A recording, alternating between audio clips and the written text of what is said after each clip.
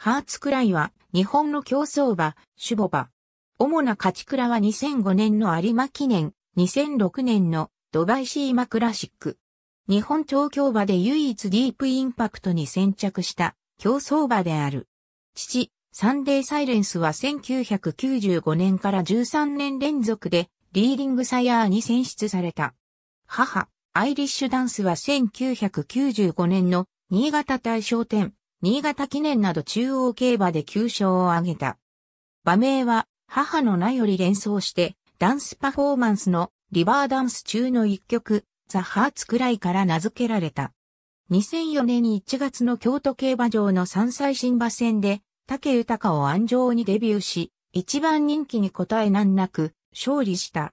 次の木更木賞では一戦のキャリアながら3着に入り、素質の高さを見せる。その後若葉ステークスで、鈴鹿マンボとの叩き合いを制した。3歳ボバクラシック第1弾皐月賞は5番人気に押されるも、大和メジャーの14着と大敗。続く、京都新聞杯では再び、鈴鹿マンボに競り勝ち、重賞初制覇を果たした。迎えた東京優春では、直線で大外から追い上げ、3着のハイヤーゲームを捉えるが、キングカメハメハのレースレコード勝ちの前に屈し、2着となる。安城の横山則弘は、レース後、現時点では、完成度の差としつつも、この馬は走るよ。すごい能力と語った。秋になり、再び、竹豊を背に、神戸新聞杯に出走するもキングカメハメハの3着に終わった。キングカメハメハ不在の菊花賞では、ダービー2着が評価され一番人気に支持されたが、デルタブルースの7着に終わり、クラシック競争優勝は果たせなかった。その後、3歳馬ながら、ジャパンカップと有馬記念を連戦するが、菊花賞から馬体重が 12kg 減ったジャパンカップは10着、キャリアで最低体重の 472kg で挑んだ有馬記念は9着に敗れている。2005年初戦の大阪杯は直線だけで追い込み、サンライズペガサスの2着。続いて天皇賞では追い上げるも鈴鹿マンボの5着に敗れた。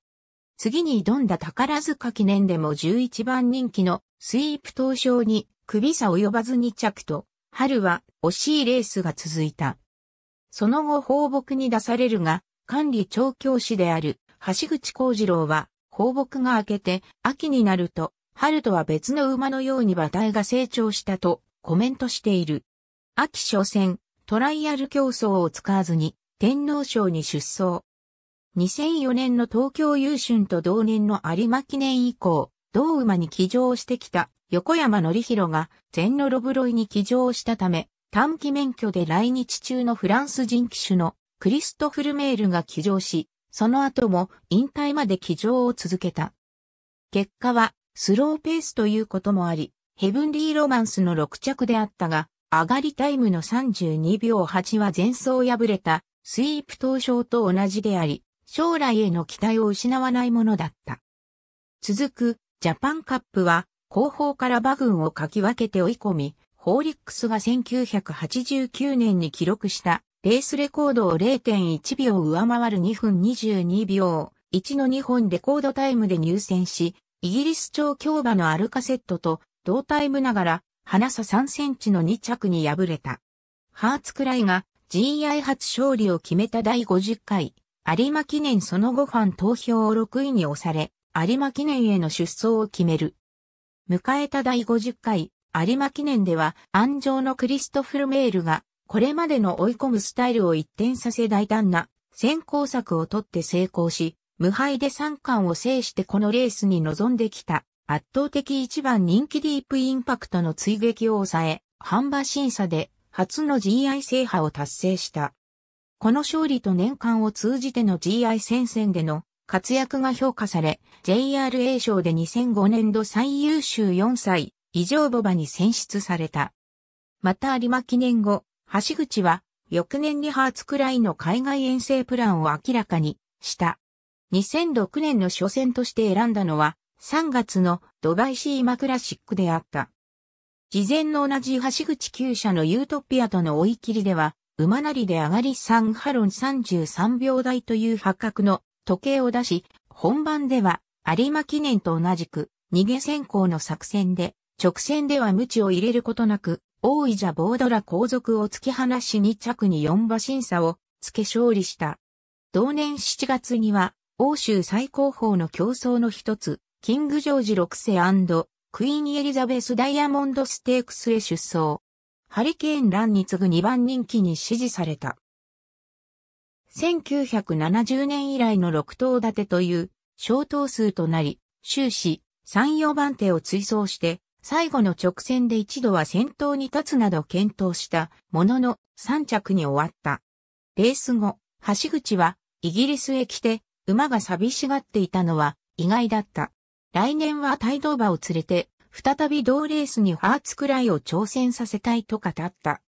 同年の日本初戦となったジャパンカップでは凱旋門賞出走後のディープインパクトとの有馬、記念以来の再戦ということもあり、注目された。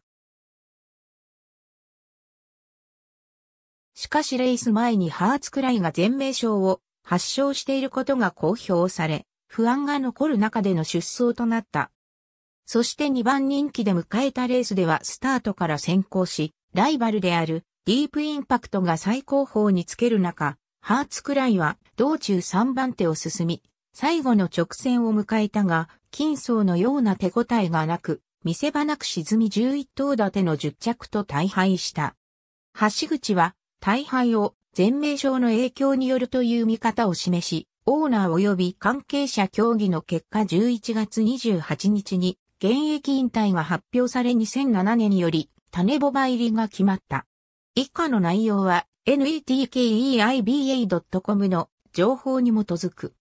つなぎお先は、北海道有仏郡阿平町の八代台、スタリオンステーションで、初年度の種付け量は500万円となり、春から供用されて、その後99頭が受胎した。翌2008年、第1号の産区となる、栗毛の馬を、自身の生まれ故郷である、八代台ファームで、つなぎ漁されている、メイボールが1月16日に出産した。2010年に初年度産区がデビューし、7月24日の小倉競馬場の新馬戦でバラードソングが3区としての初勝利を挙げた。2011年4月30日の青葉賞でウィンバリアシオンが3区の JRA 重賞初勝利を挙げる。2013年10月27日の天皇賞でジャスタウェイが優勝し、3区のジョギー初勝利を挙げた。さらにジャスタウェイは2014年のドバイデューティーフリーを制し、日本競馬史上初となるドバイミーティング親子制覇を達成した。2014年5月25日の優駿牝馬では、ヌーヴォレコルトが勝利。産駒の牝馬 GI 初制覇を達成した。翌週の東京優駿では、ワンオンリーが優勝。自身が成し得なかった東京優駿制覇を達成した。翌週の安田記念でもジャスタウェイが勝利し、同一3区での3週連続 G1 制覇を達成している。2018年9月1日には吉田がウッドワードステークスを勝利。日本生産馬による史上初の米ダート G1 勝利となった。2019年の有馬記念をリスグラ州が制して有馬記念の父子制覇を達成。くしくもディープインパクトも有馬記念の父子制覇を達成しているが、有馬記念の父子制覇はこの2例のみである。2020年をもって種ボバを引退。2021年生まれの産区が最終世代となる。種ボバ引退後は引き続き八代台、スタリオンステーションで、功労馬としてつなぎをされる。太字は GI 競争、競争名の前の国旗は開催国。ありがとうございます。